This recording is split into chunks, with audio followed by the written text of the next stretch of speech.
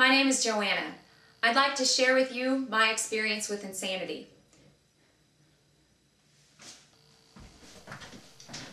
In order to get stronger so that I can run faster and meet my half marathon goal. Half, half, not half. However, I have a very weak core, had past tense. I've done insanity, it's good now. And right before my 32nd birthday, I started doing the workouts. Immediately, no, that's a lie because it was after. Insanity began for me Therefore, I decided to get healthy.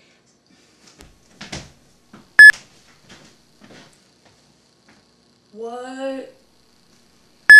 However, I just don't like the way this is going.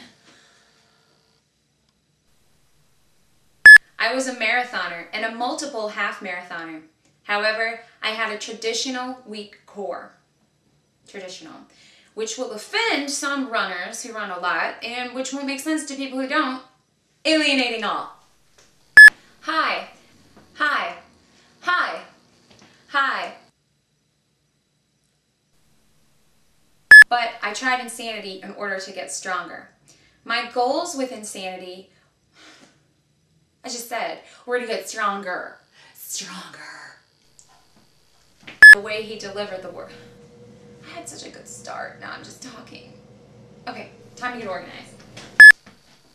Hi, my name is JoAnna, and I'd like to tell you about my experience with insanity.